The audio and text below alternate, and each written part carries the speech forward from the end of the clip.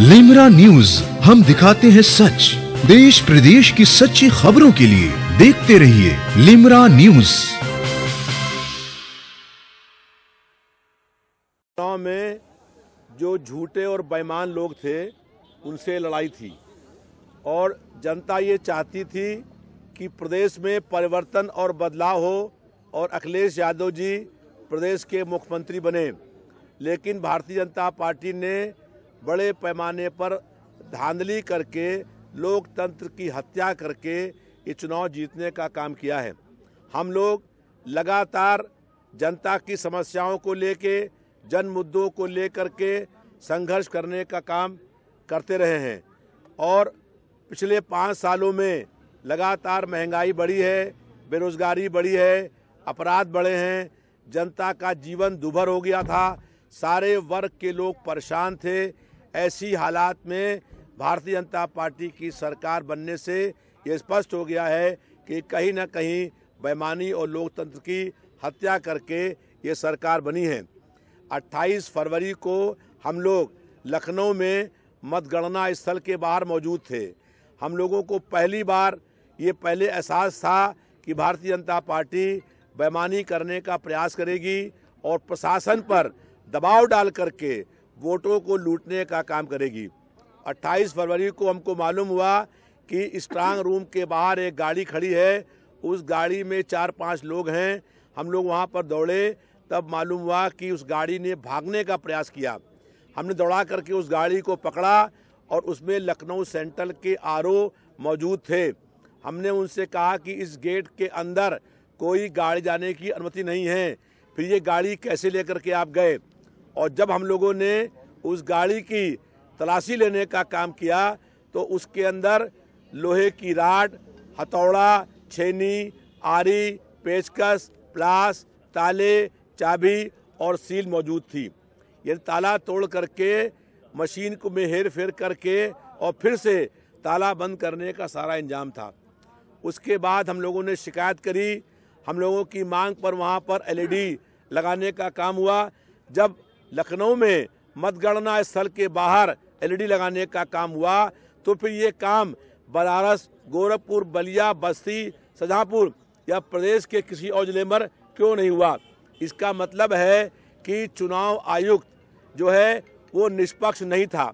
उसका प्रमाण ये है कि मुख्य चुनाव आयुक्त, उसका कार्यकाल खत्म हो गया था और उसका भारत सरकार ने एक्सटेंशन करके चार राज्यों में विधानसभा चुनाव जीतने के लिए उसका एक्सटेंशन करने का काम किया। हम लोगों की शिकायत पर लखनऊ सेंट्रल के आरओ की जाँच हुई और जाँच में दोषी पाया गया और लखनऊ सेंट्रल के आरओ को उठाया गया। जो इस बात का प्रमाण है कि भारतीय जनता पार्टी की सरकार ने प्रशासन को दबाव में लेकर के बेमानी करने के काम किया था।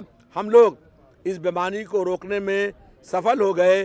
जो लोग रोक नहीं पाए, वो लोग चुनाव हार गए आपके सहयोगी दल ओम प्रकाश राजभर ये कह रहे हैं कि हमको पहले चरण से मालूम चल गया था कि हम चुनाव हार रहे हैं।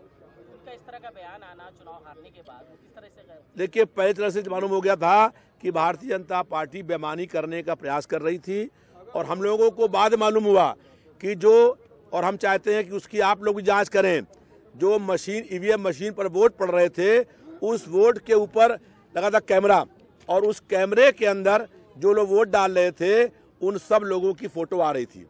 तो सीसीटीवी कैमरा ईवीएम मशीन के ऊपर लगाने का किसने आदेश किया था? और मुख्य चुनाव आयोग जो है, वो धीमे धीमे जब चुनाव आता गया तो वो इतना खुल करके बेमानी करने पर भाजपा सरकार बनाने के लिए उन्होंने काम किया है कि इससे स्पष्ट हो गया कि चुनाव में धांधली बेमानी होगी। फिर 28 तारीख को हमने रंगे हाथ अपने आरोप को पकड़ने का काम किया। और जाँच के बाद ये प्रूफ हो गया कि आरओ ने बेमानी करने का प्रयास किया था। एक आखिरी सवाल आपसे कर लेते हैं जिस तरह से हारने की अगर तो समीक्षा होगी आप लोगों की लेकिन ये ज़रूर कहा जा रहा है कि अखिलेश यादव ने जिस तरह से स्टार प्रचारक जो थे उनको सूची थी दी गई थी लेकिन उनको शामिल नहीं किया किसी भी रैलियों में। दूसरी बात की अखिलेश यादव जो टिकट बंटवारे को लेकर भी सवाल उठ रहा है कि टिकट बंटवारे में कुछ गड़बड़ी हुई एक सही दिशा निर्देश नहीं तय हो पाए जिस वजह से भी हार आपको देखनी देखिए ये कोई कारण नहीं है कारण ये है कि भारतीय जनता पार्टी के खिलाफ पूरा माहौल था, जनता परिवर्तन और बदलाव कराने का मन बना चुकी थी। भारतीय जनता पार्टी ने प्रशासन को दबाव में लेकर के तमाम तरह की बेमानी करने का काम किया है।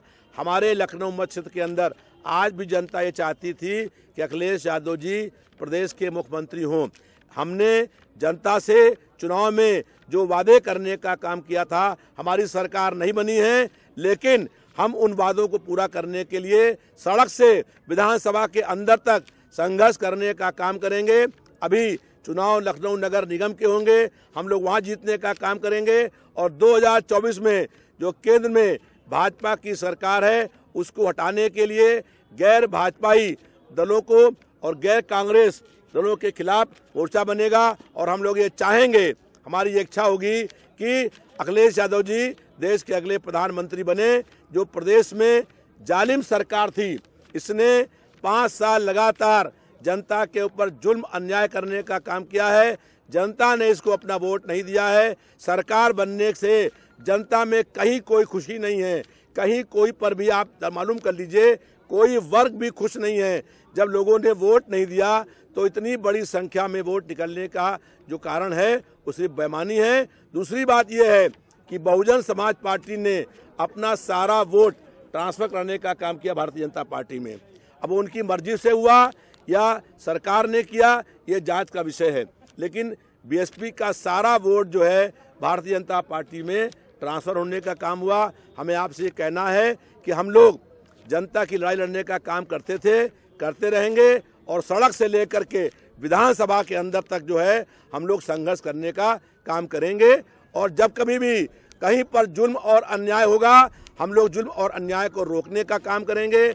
आज से सैतालीस साल पहले इस देश में आपातकाल लगा था। लोकतंत्र की हत्या करने का काम हुआ था। आज फिर से लोकतंत्र की हत्या करने का काम हो रहा है। लोकतंत्र को बचाने के लिए हम लोग हर संघर्ष करने का काम करेंगे। लखनऊ की जनता को आभार। सर्वप्रथम लखनऊ महानगर में रहने वाले लोगों ने समाजवादी पार्टी को भरपूर वोट दिया। इसके लिए बधाई और धन्यवाद देता हूँ। दो सीटें हमारी शहर में जीती। तीन सीटों पर कांट, की टक्कर हम लोगों ने लड़ी है। तो लखनऊ के लोगों ने समाजवादी पार्टी पर विश्वास किया है। उसका कारण ये है कि लखनऊ में समाजवादी पार्टी के लोगों ने निरंतर जन समस्याओं को लेकर के संघर्ष करने का काम किया। चाहे वो लाठी चली हो चाहे जेल जाना पड़ा हो, समाजवादी साथियों ने मिल करके, सारे लोगों ने मिल करके लखनऊ में बड़े बड़े प्रदर्शन किए, आंदोलन किए, चाहे वो महँगाई के खिलाफ आंदोलन हो, चाहे किसानों की समस्या रही हो, जो भी तमाम समस्याएँ जनता की जो थी, उनके लिए समाजवादी पार्टी के लोगों ने सड़क पर संघर्ष करने का काम किया।